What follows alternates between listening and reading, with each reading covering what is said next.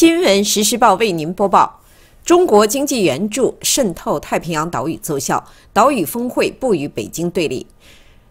日本与太平洋共十六个岛屿国家和地区召开首脑会议，峰会讨论亚洲安全与合作的多项议题。会议通过了共同宣言。据共同社分析，与会各方不愿意与中国对立，与太平洋岛屿国家是因为中国在当地援助渗透；另一方面，与日本刚刚起步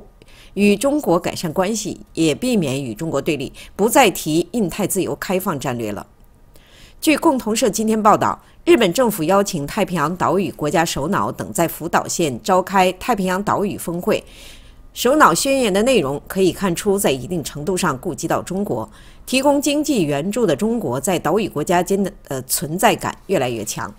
东道主日本此前也有中国国务院总理李克强的来访等，重视改善对华关系的趋势。宣言内容意在避免对立。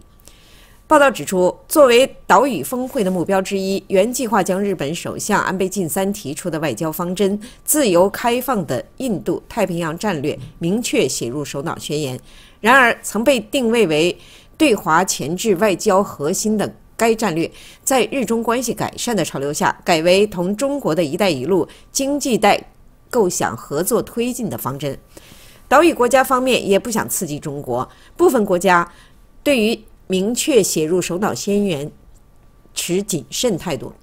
据分析，有岛屿国家认为这是日方对华前置战略，因而有所警惕，其背后有着从中国得到巨额经济援助的因素。最终在首脑宣言中，在写明目的是法治及航行自由、经济繁荣等之后，写进了印度太平洋战略。这样的效果是表明这一概念并不是为了同中国对抗。十九日的首脑会议上，安倍提及李克强的访日，表示欲推进和中国的合作。据日本政府消息人士关于表述的调整透露，为了得到岛屿国家方面的理解，说明称不会与中国的利害关系相对立。以上是例子为您播报，谢谢您的收看。